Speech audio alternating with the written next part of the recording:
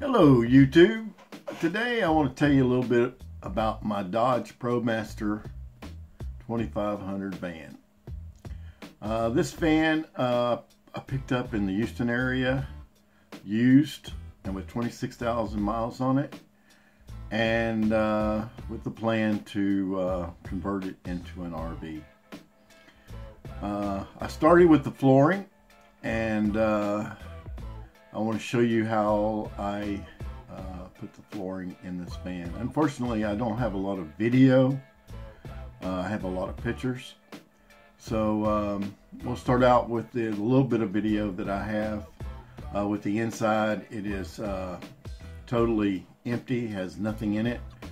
I intentionally uh, did the floor first because uh, if you've ever walked on these metal floors, they're very slippery and I wanted something uh, secure to walk on.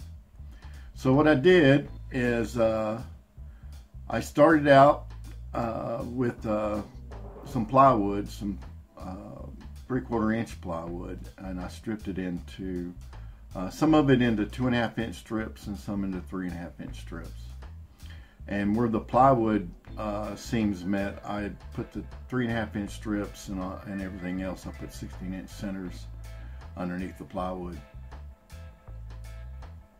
So as you see here, the uh, I started putting the strips down.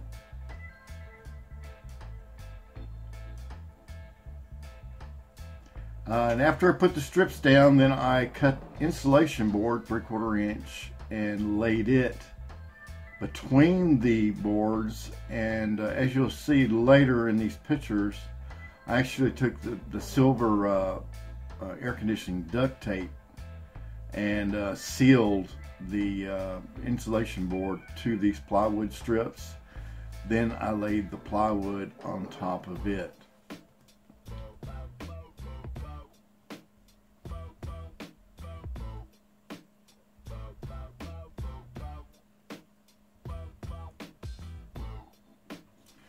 Um, the plywood uh, is very comfortable to walk on with this insulation under it and the strips the way I did it. Uh, it came out very nicely. It did not take very long to do. It took less than four hours to uh, uh put this decking down in this uh, in the flooring, and it made a secure um, surface to work off of.